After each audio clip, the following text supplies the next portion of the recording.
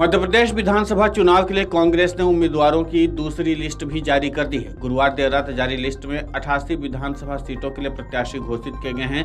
केंद्रीय मंत्री नरेंद्र सिंह तोमर के खिलाफ कांग्रेस ने दिमनी विधानसभा सीट से रविंद्र सिंह तोमर को उम्मीदवार बनाया है। इसके साथ ही पार्टी ने तीन विधानसभा सीटों के लिए उम्मीदवार भी बदल दिए हैं। इससे पहले कांग्रेस ने एक उम्मीदवारों की पहली लिस्ट जारी की थी।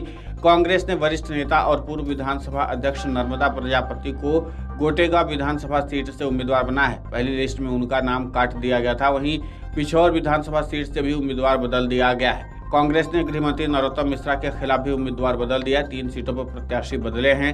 कांग्रेस की इस लिस्ट में सुमावली विधानसभा सीट से कुलदीप सिकरवार, मुरैना से दिनेश गुर्जर दिमनी से रविंद्र सिंह तोमर अम्बाह से देवेंद्र सिकरवार, भिंड से चौधरी राकेश चतुर्वेदी, गोहद से केशव ग्वालियर से सुनील शर्मा, दतिया से राजेंद्र भारती, पिछोर से अरविंद सिंह लोधी, गुना से पंकज कनेरिया, विनय से निर्मला सप्रे, खुरई से रक्षा राजपूत, रहली से ज्योति पटेल, सागर से निधि जैन, दमोह से अजय टंडन, पन्ना से भरत मिलन पांडे, मैहर से धर्मेश घाई, रामपुर बघेलान से रमाशंकर पयासी, सिरमौर से राम गरीब कोल, सिमरिया से अभय मिश्रा, देवतालाब से पद्मेश गौतम, रीवा से राजेंद्र शर्मा, सीधी से ज्ञान सिंह देवसर से वंशमान्य प्रसाद वर्मा को उम्मीदवार बनाया गया है। इसके अलावा कांग्रेस ने जबलपुर कैंट से अभिषेक चौक से चिंटू, भोपाल उत्तर से अतीफ अकील, भोपाल दक्षिण पश्चिम से पीसी शर्मा, देवास से प्रदीप चौधरी, इंदौर तीन से दीपक पिंटू जोशी, इंदौर पाँच से सत्यनारायण पटेल और उज्जैन दक्षिण से चेतन प्रेम नारायण यादव को उम्मीदवार बनाया गया है। इसके अलावा रीवा शहर से राजेंद्र शर्मा को भी चुनावी मैदान में कांग्रेस ने उतारा है। यहाँ पर गौर करने वाली बात यह है कि कांग्रेस ने अभी केवल दो सौ उनतीस सीटों पर ही प्रत्याशी घोषित किए हैं।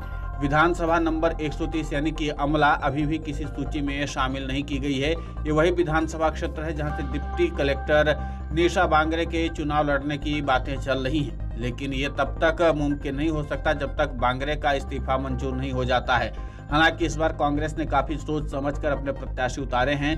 भले ही ज़्यादा बदलाव नहीं किए गए हों, लेकिन इस बार पुराने प्रत्याशियों पर कांग्रेस ने विश्वास जताया है। कांग्रेस को उम्मीद है कि जैसे पिछले विधानसभा चुनाव में उनके प्रत्याशियों ने जीत हासिल करके सत्ता में पहुँचाने में मदद की थी इस बार भी कुछ ऐसा ही खेल करने वाले हैं। हालाँकि कांग्रेस ने अपनी पहली सूची में जातीय समीकरण का खासा ध्यान रखा था। 144 नामों की सूची में ओबीसी वर्ग के उनतालीस प्रत्याशियों के नाम हैं, जबकि जबकि पैंसठ टिकट 50 से कम उम्र वाले लोगों को मिले हैं, यानी कि कांग्रेस ने इस बार युवाओं पर काफ़ी फोकस किया है। इसके साथ ही अनुसूचित जाति वर्ग के 22 और अनुसूचित जनजाति वर्ग के 30 उम्मीदवारों को शामिल किया गया है। पूरे 144 लोगों में से 19 महिलाओं को प्रत्याशियों में शामिल किया गया है। जबकि छह अल्पसंख्यक वर्ग के नेताओं को भी टिकट मिला। इनमें से पाँच जैन और एक मुस्लिम नेता भी शामिल हैं। कुल मिलाकर के कांग्रेस हर समीकरण को साधते हुए अपने प्रत्याशी उतारे हैं। ऐसे में देखना दिलचस्प होगा कि चुनावी मैदान में कांग्रेस के प्रत्याशी कितना करिश्मा दिखाते हैं, क्योंकि दारोमदारी इन्हीं सभी प्रत्याशियों पर है और कांग्रेस के पास चुनौतियाँ भी ज़्यादा हैं।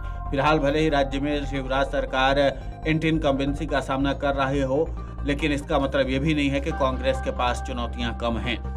देखना दिलचस्प होगा कि कांग्रेस के प्रत्याशी इस बार के विधानसभा चुनाव में कितना करिश्मा दिखाते हैं और साथ ही आम जनता का विश्वास जीतने में कितनी सफलता मिलती है।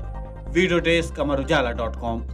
अगर आप ये वीडियो YouTube पर देख रहे हैं तो हमारे चैनल को सब्सक्राइब करें और बेल आइकन को दबाना ना भूलें। अगर आप Facebook पर यह वीडियो देख रहे हैं तो हमारे पेज को लाइक करें।